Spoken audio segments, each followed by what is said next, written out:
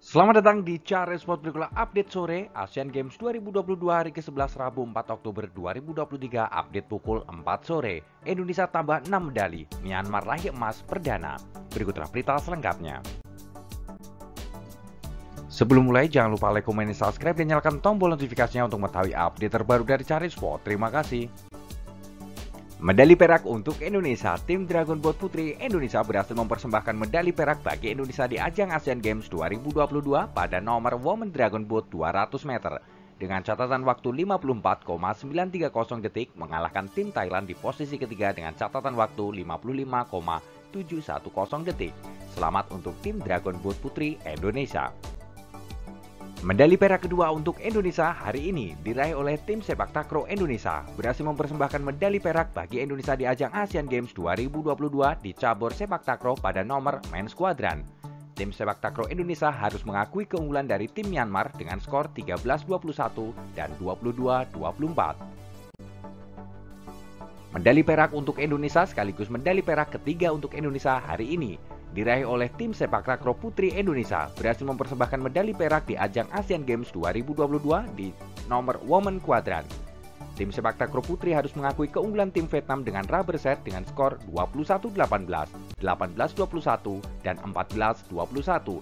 Ryan ini lebih baik dibandingkan Ryan ajang Asian Games 2018 tahun lalu di mana tim sepak takraw putri Indonesia berhasil medali perunggu di nomor yang sama. Medali perunggu untuk Indonesia hari ini, tim Dragon Boat Putra Indonesia berhasil mempersembahkan medali perunggu bagi Indonesia di ajang Asian Games 2022 pada nomor Men's Dragon Boat 200 meter dengan catatan waktu 49,810 detik di bawah tim Thailand di posisi kedua dan tim Cina di posisi pertama. Selamat untuk tim Dragon Boat Putra Indonesia. Medali perunggu untuk Indonesia hari ini diraih oleh tim soft tennis Indonesia berhasil mempersembahkan medali perunggu bagi Indonesia pada ajang Asian Games 2022 dalam cabur soft tennis dalam nomor men's team setelah harus mengakui keunggulan tim Cina Taipei dengan skor akhir 0-2. Medali perunggu untuk Indonesia hari ini diraih oleh Diana Dakoirunisa dan Rio Ega Agata Salsabila dari cabang olahraga panah nomor compound mixed team. Di semifinal mereka kalah dari pasangan Korea Selatan pada perebutan perunggu, Ega dan Dianida tampil baik dan mengadaskan Iran Selamat untuk Dianida Koirinisa dan Rio Ega Agata Salsabila. Berikutlah hasil pertandingan yang dilakoni wakil Indonesia pada hari ini dari cabang olahraga atletik nomor 35 km race walk mixed team. Violen Intan Puspita dan Hendro belum berhasil menyumbangkan medali untuk Indonesia karena hanya finish di peringkat kelima. Dari cabang olahraga panahan kompon mix team, Rate Zilisati Fadli, Dani Diva Pradana harus tersingkir di babak quarter final di tangan wakil Cina Taipei dengan skor 156-154. Dari cabang olahraga cycling road, women road race, Ayustina Delia Priyatna belum berhasil menyumbangkan medali untuk Indonesia karena hanya mampu finish di peringkat 21. Dari cabang olahraga gulat, men's Greco-Roman 77 kg, Andika Sulaiman harus tersingkir di babak perdelapan final karena kalah dari wakil Cina dengan skor 4-0. Dari nomor men Greco-Roman 60 kg, Suparmanto harus tersingkir di babak perdelapan final karena kalah dari wakil Korea dengan skor 11-3. Dari nomor men Greco-Roman 67 kg, Muhammad Aliansah harus tersingkir di babak perdelapan final karena kalah dari wakil Korea dengan skor 5-1. Dari tim hoki putra, tim putra Indonesia berhasil meraih posisi ke-9 setelah mampu mengalahkan tim Uzbekistan dengan skor 4-1. Dari cabang olahraga badminton women single, Putri Kusuma Wardani harus tersingkir di babak 16 besar setelah kalah dari wakil India dengan skor 2-0. Dari nomor woman double, Febriana Dwi Puji Kusuma Amalia Cahaya Pratiwi harus tersingkir di babak 16 besar di tangan pasangan dari Cina dengan skor 2-0. Dari nomor mixed double, Rino Frivaldi, Pita Haning Jasmentari harus tersingkir di babak 16 besar di tangan pasangan dari Jepang dengan skor 2-0.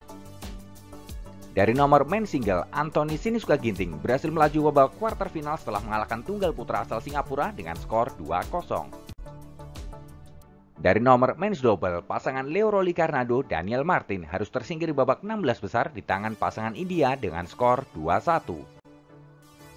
Dari nomor men's double, Fajar Alfian Muhammad Rian Ardianto berhasil lolos babak quarter final setelah mengalahkan wakil Thailand dengan skor 2-0. Berikutlah jadwal selanjutnya untuk wakil Indonesia pada hari ini. Pada pukul 4 sore dari cabang olahraga badminton women single, Gregoria Mariska Tunjung akan berlaga di babak 16 besar melawan wakil dari Malaysia.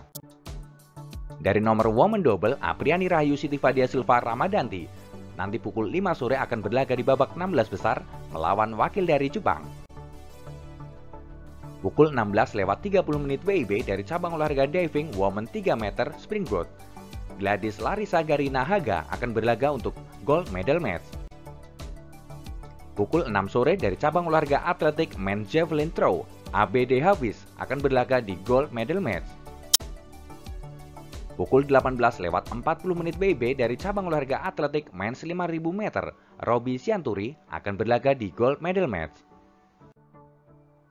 Pukul 7 malam dari Sport Climbing Main Speed Relay, tim Indonesia akan berlaga di babak quarter final hit 1 melawan timnas Hong Kong.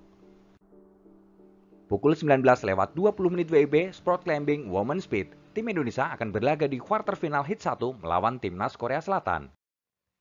Berikutlah update perolehan medali sementara hari ke-11 Rabu 4 Oktober 2023 update pukul 4 sore. Di peringkat pertama timnas Cina dengan 166 emas, 91 perak, 47 perunggu.